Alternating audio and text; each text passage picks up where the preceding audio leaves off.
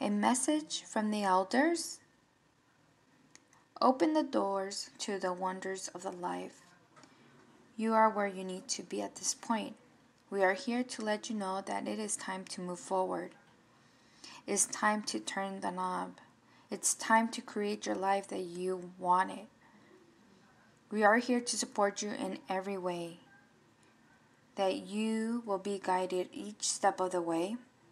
Remove the fears, remove the assumptions, and go with the flow. You are getting directed. We will show you the way to release and let go. It's okay. Don't be afraid. We are with you.